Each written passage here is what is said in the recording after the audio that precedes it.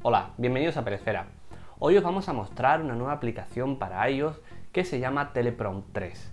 Es una aplicación que, como su nombre eh, indica, nos va a permitir convertir nuestro dispositivo iOS desde un iPhone o un iPad en un teleprompter o un autocue o QE. Es este dispositivo que para los que estéis relacionados o inmersos en el mundo de la televisión posiblemente ya os suene. Son estos pequeños, estas pequeñas pantallas que van mostrando un texto a una velocidad constante que nosotros previamente hemos configurado o incluso a través de un control eh, remoto. Así que vamos a ver un poco esta aplicación cómo es y cómo funciona.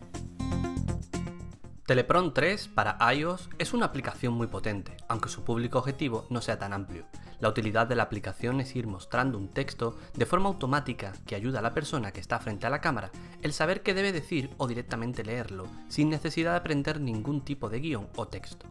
Con una gran variedad de opciones, no solo nos permite ajustar detalles como el color de fondo o los textos, tamaño o tipo de letra o los márgenes, también podemos añadir un indicador para saber por dónde deberíamos de ir leyendo, grabar nuestro audio o incluso vídeo mientras lo hacemos, así como establecer un control remoto para adelantar y retroceder el texto según queramos.